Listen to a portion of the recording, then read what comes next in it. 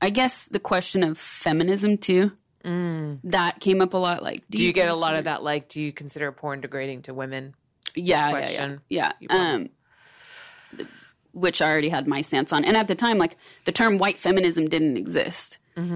and I wish it did because it's like, okay, we have a definition of what that is, at Mm-hmm. least like a broader understanding culturally Mm. of what that is, and why I never felt like I fit into it. And nowadays, I can say I consider myself a postmodern feminist Okay. because I don't fit into that ideal. But like the feminism that I saw around me didn't it didn't include people like me, and that's why I didn't want to be associated with it. Mm-hmm. Right. And it was so hard for people to understand that. Like, well, what do you mean? I'm like, they might be sex positive until you talk about porn.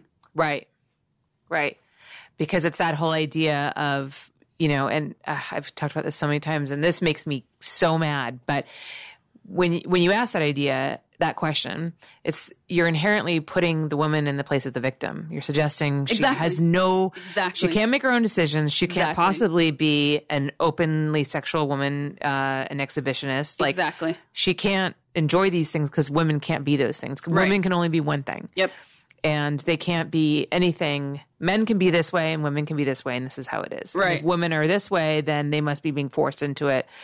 Like it just you take away the power of a, f- a woman's choice Yeah. when you say that, Hundred percent. and I just want to punch people. Thank you so much for watching. If you enjoyed the show, make sure that you subscribe so you don't miss a single episode. And go check out all the other videos. I film every single one of my podcasts. And if you want to listen to the audio version, I'm on iTunes and all the other podcast platforms. Visit hollyrandallunfiltered.com to find out more.